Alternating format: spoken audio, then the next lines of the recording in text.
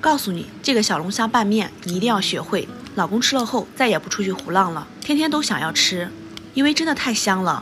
冷冻的虾尾我们倒入锅里面，再加入足量的清水，放入去腥三件套、葱姜料酒，大火给它煮开。煮开之后，我们放入冰水里面，这样剥壳更加的轻松。你看，轻轻的这么一拽，虾壳就完美剥掉了。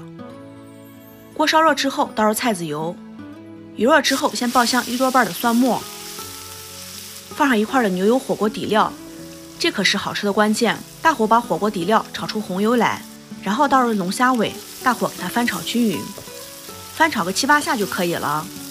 然后我们加入生抽、蚝油。鸡精给它调个味儿，再加点八二年的啤酒去腥增香。翻炒均匀之后，中火煮上五分钟。时间到了之后，我们放入青红椒、蒜末、水淀粉，翻炒至断生就可以出锅了。哇，看起来太有食欲了！水开之后，我们下入面条给它煮熟，可以加点油，这样面条就不会粘在一起了。煮好之后，我们直接捞入碗里面，这样一道好吃的小龙虾拌面就做好了。色香味俱全，不管你有没有胃口，来上一碗都很解馋。